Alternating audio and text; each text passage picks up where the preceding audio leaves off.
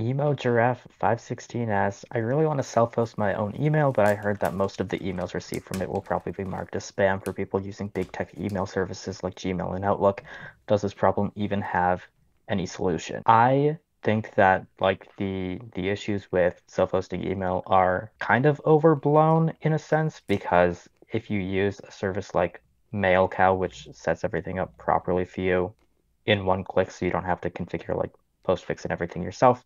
And you set up all the DNS records um, that are appropriate for email, which MailCow guides you through, or a program like that.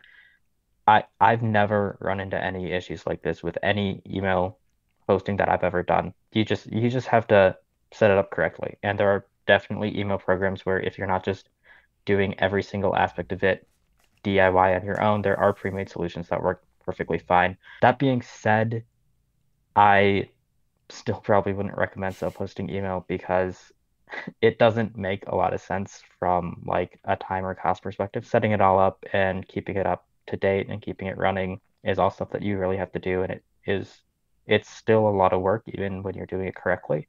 And for the cost of pretty much any email provider, um, which is usually like five, ten dollars a month, it's you're gonna get a lot better value out of just having somebody else do it for you. That's kind of the state that email is in right now. Yeah, it feels risky too. Like that's why I don't self-host my own email because like we use Proton for our business email. So if you email our support page or something, um, it's going to go through Proton.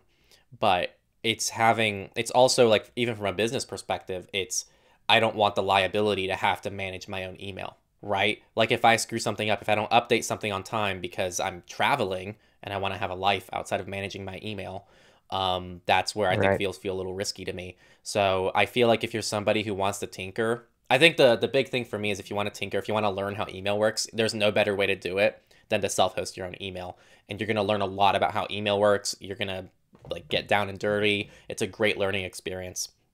Um, and also maybe you can use it for a few things that aren't very important, um, just for fun.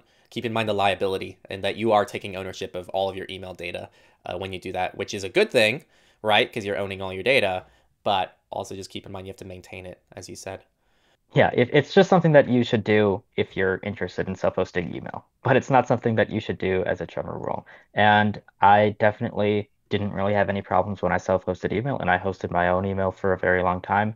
But I've also just switched all of my email over to Proton, and I'm perfectly happy with that decision. And it's it's a lot better now that I don't need to self-host anymore.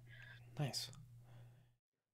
Hey, thanks for watching this clip. Here's another clip for you, and if you want to really dive into tech, check out our main channel, Techlore, for a deeper dive into digital rights, privacy, security, and more. Thanks again for watching, and I'll see you soon.